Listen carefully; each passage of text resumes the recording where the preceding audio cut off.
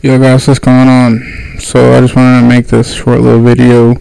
I recently just deleted my Bandicam because I'm getting into OBS and OBS Studios is way better than Bandicam.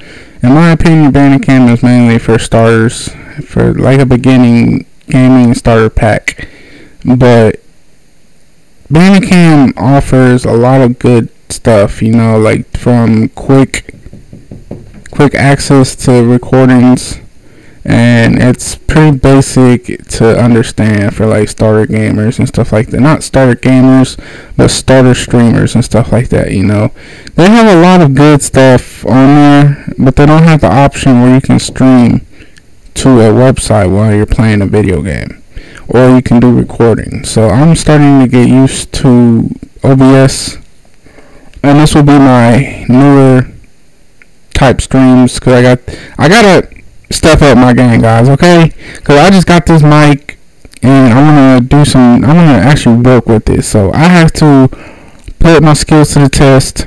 So I have to enhance my knowledge on this stuff. So I want to thank everyone for viewing, for commenting. You guys are awesome. I'm glad that I inspired you.